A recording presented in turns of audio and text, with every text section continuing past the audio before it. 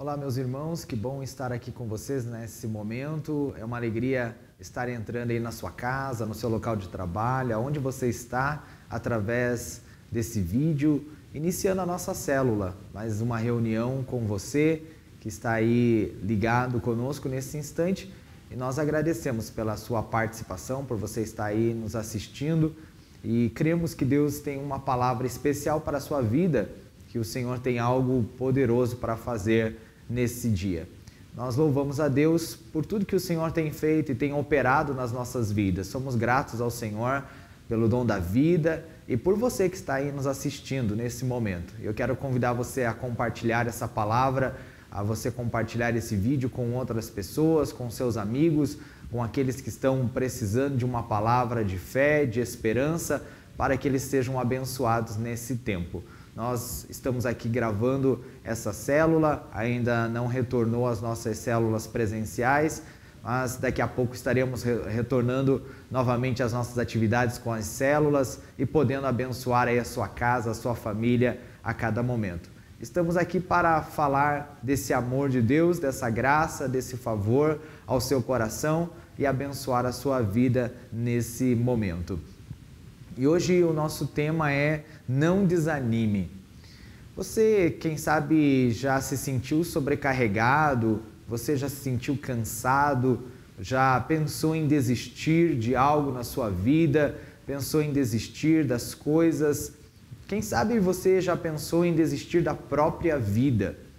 Nós estamos vivendo o mês de setembro e nesse mês muitas pessoas é, estão falando a respeito também de um tema bem delicado, onde a, o suicídio, onde as pessoas elas é, decidem é, tirar a própria vida. Por quê? Porque elas desanimam e elas desistem, desistem da vida, desistem de tantas coisas na sua caminhada.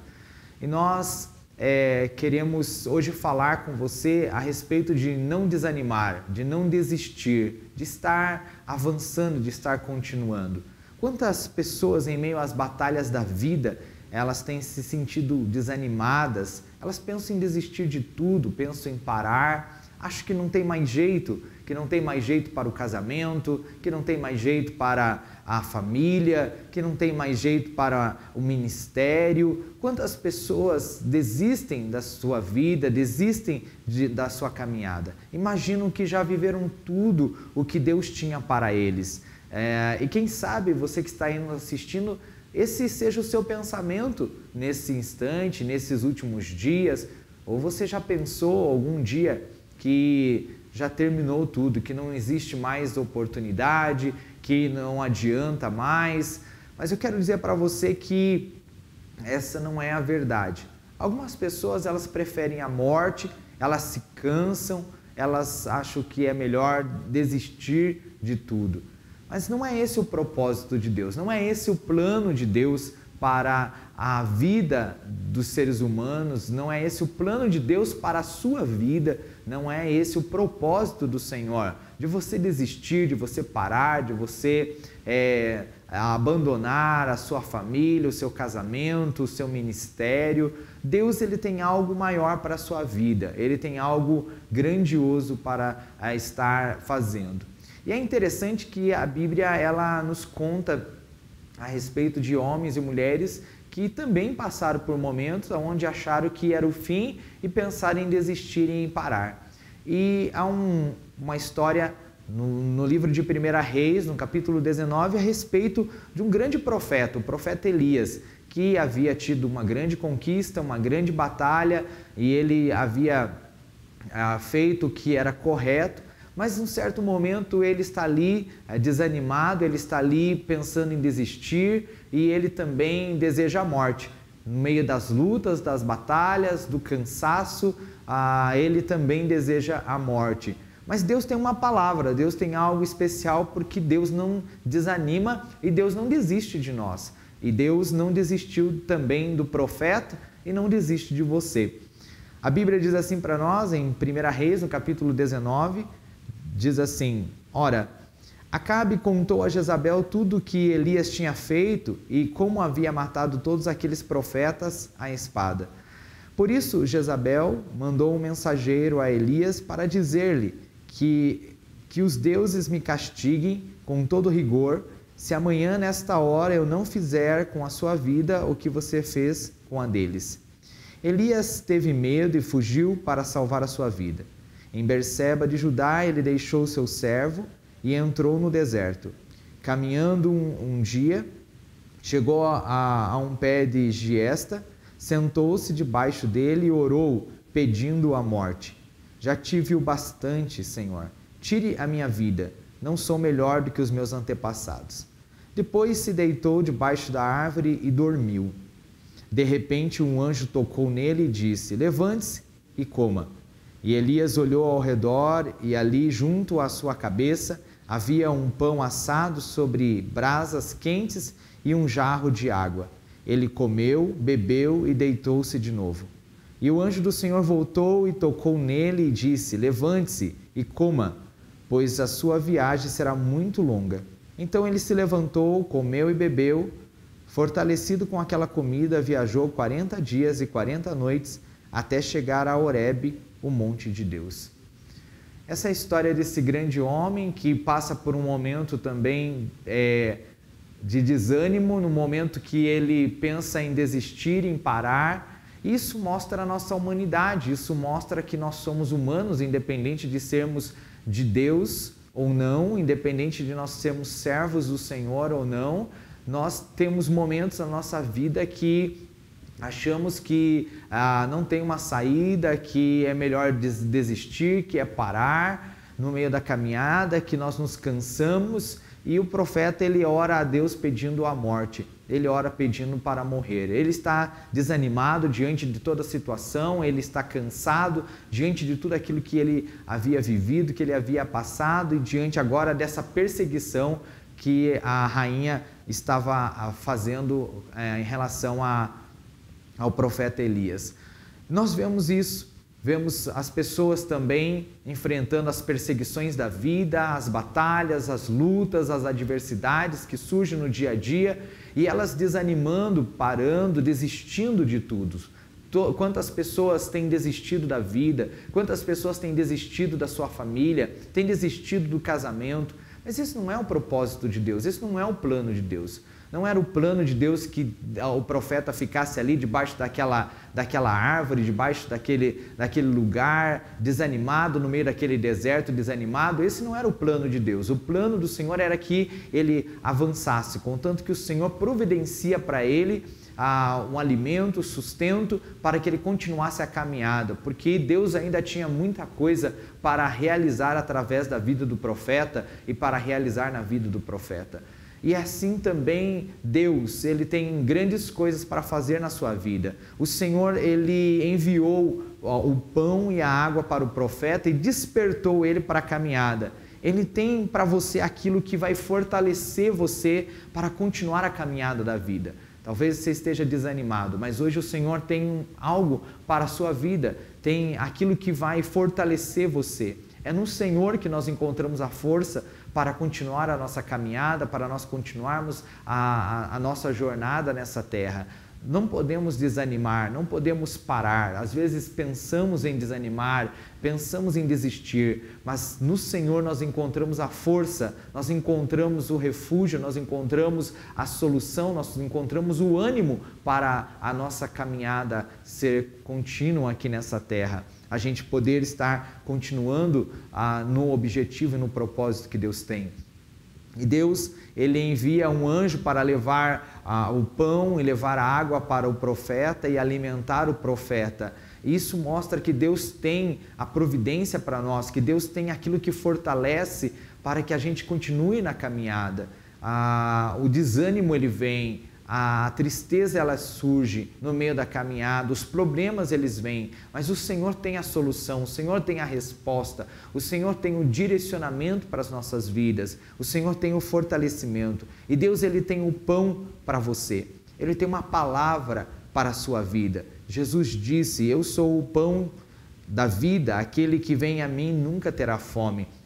Jesus é o Verbo que se fez carne e habitou entre nós, ele é a palavra viva Então nós devemos nos alimentar da palavra de Deus, nos alimentar da palavra do Senhor, e isso vai fazer com que nós tenhamos força contínua para a nossa jornada, nos alimentarmos da palavra do Senhor. O pão aqui representa a palavra de Deus, representa Cristo na nossa vida. Precisamos de Jesus, precisamos da palavra de Deus na nossa vida constantemente para nos fortalecermos e continuarmos a jornada, continuarmos a caminhada. E hoje Deus está dando uma palavra para você, a palavra de Deus para a sua vida hoje, a que Ele tem para você vida, você não precisa estar passando a fome, a necessidades, quer dizer, é, esses pensamentos de desistir, de parar, isso não pode permanecer, não deixa isso continuar na sua vida. Tem o sustento que você precisa, tem o fortalecimento sim que você precisa. Em Cristo você pode, você, você tem aquilo que realmente é necessário. Vai para a palavra de Deus é a, e você vai ter forças para você continuar a caminhada, continuar a jornada. O anjo disse para o profeta: levanta e come. Foi a, essa palavra do, do, do, anjo para o profeta, e Deus está dizendo hoje: levante-se, saia dessa situação, dessa crise, é, é, confia na minha palavra, eu tenho a direção para você, eu tenho a resposta para você. Deus tem o sustento que você precisa. Não desanime, não fique parado, não é tempo de adormecer, é tempo de nos despertarmos Paulo escreveu aos Efésios, no capítulo 5, versículo 14, dizendo: Desperta tu que dormes, levanta-te dentre os mortos e Cristo resplandecerá sobre ti. Não é tempo de estarmos dormindo, não é tempo de nós estarmos acomodados, é tempo de nos despertarmos, de nos animarmos para a, a caminhada, não, não estarmos desanimados na nossa, na nossa vida, mas estarmos animados, avançando, e Deus tem o sustento, Ele tem aquilo que nos fortalece fortalece para a nossa caminhada a Sua palavra, para que a gente possa continuar a nossa caminhada. Mas Ele também oferece a água para o profeta. Além do pão, ele oferece a água. E a água ela representa o Espírito Santo para nós. E isso então Deus está dizendo: eu tenho o meu espírito que ele te ajuda você, que fortalece você, que traz um refrigério para você. Eu tenho o meu espírito que sacia a sede da sua alma, que sacia a sede da sua vida. Jesus ele falou para aquela mulher samaritana junto ao poço de Jacó que aquele que beber da água da vida nunca mais terá sede. Ele disse isso. E no último grande dia da festa, Jesus ele diz para o povo, ele levanta-se e diz: Aquele que tem sede, vem a mim e beba.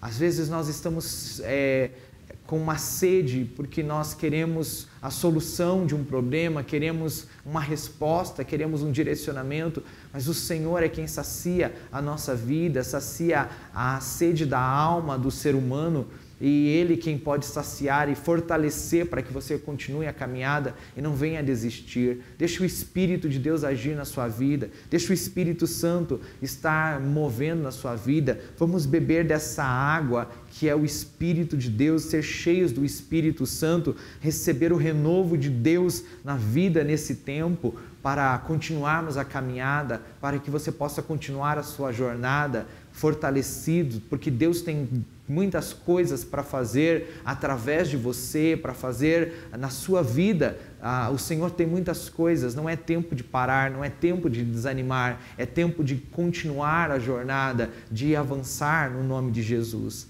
Deus, Ele tem o pão e a água para nos fortalecer. Há uma palavra do Senhor para a sua vida e o Espírito Santo para você, para estar te fortalecendo, te guiando e te conduzindo. A sua jornada não terminou, você tem achado que acabou, mas não terminou. O Senhor ainda tem algo grandioso, há muitas coisas para você fazer. Deus irá fazer grandes coisas na sua vida e através da sua vida, no nome de Jesus. Levante-se hoje, não desanime. Se você está desanimado, hoje é dia de você se fortalecer no Senhor, de você se fortalecer em Deus, de buscar mais do Espírito de Deus. Não desanime, não desista. Se você tem se sentido cansado e sobrecarregado, Ele tem um alívio para a sua alma. Se aproxime do Senhor. Ele disse: Vinde a mim, todos vocês que estão cansados e sobrecarregados, e eu vos aliviarei. Então não desista, não fique aí desanimado, levante a sua cabeça. Ainda tem muita coisa para você fazer, ainda tem muita coisa para você viver. Deus tem coisas grandiosas para a sua vida. Que você possa ficar com essa palavra no seu coração e desfrutar do melhor de Deus ao longo dessa semana, no nome do Senhor Jesus. Fica com essa mensagem para a sua vida e compartilhe ela com outras pessoas para que outros também sejam abençoados. Quem sabe um amigo, um familiar seu que você, que você sabe que está desanimado, cansado, precisa de uma palavra de fé, compartilhe com essa pessoa para que ela seja abençoada no nome de Jesus. Nós louvamos a Deus pela sua vida, por você estar aí nos assistindo e queremos orar por você, abençoando a sua casa, a sua família, no nome do Senhor. Nós convidamos você para estar conosco no sábado, às 19 horas, um grande culto, a rede de jovens com um culto imersos no poder de Deus, um tempo precioso de poder, de unção e você é o nosso convidado. Venha se fortalecer no Senhor, venha se fortalecer em Deus. E no domingo, às 9 da manhã e às 19 horas, duas grandes celebrações ao Senhor e você pode estar é, sendo abençoado por Deus e vivendo o melhor na sua vida no nome de Jesus. Eu quero orar por você, abençoando a sua casa, a sua família nesse momento. Pai, nós agradecemos pelo teu amor e a tua bondade. E neste momento nós oramos por cada um dos teus filhos que estão assistindo essa mensagem. Essa pessoa que, quem sabe, está desanimada, que está abatida, cansada diante dos problemas, das adversidades que a vida tem apresentado. Essa pessoa que talvez tenha pensado em desistir da própria vida, tem pensado em desistir do casamento, do ministério, tem pensado, Senhor, em desistir de tudo, ou quem sabe essa pessoa já desistiu, mas está assistindo essa mensagem.